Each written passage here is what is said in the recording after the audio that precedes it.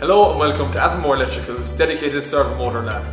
My name is Stephen Goggin and I'm joined here today by Dermot Murphy, our servo motor specialist. A question for you. How do you recognise a servo motor? That's something Dermot's going to discuss with you today. Here in the workshop we have a servo motor. This is a 2.2 kilowatt. Here also is a, an AC induction motor, 2.2 kilowatt as well. As you can see, the servo motor looks quite different it has connectors, power connector and a signal connector. The signal connector takes the signals from the encoder which are aligned to the magnets on the, on the rotor. Here is the magnets on the rotor as you can see. One thing about a servo motor is if you do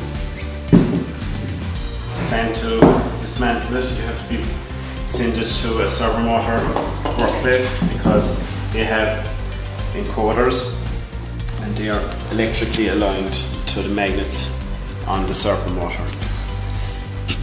If you remove this encoder, you will lose your alignment and when you change your bearings and put it back together again, it will not work.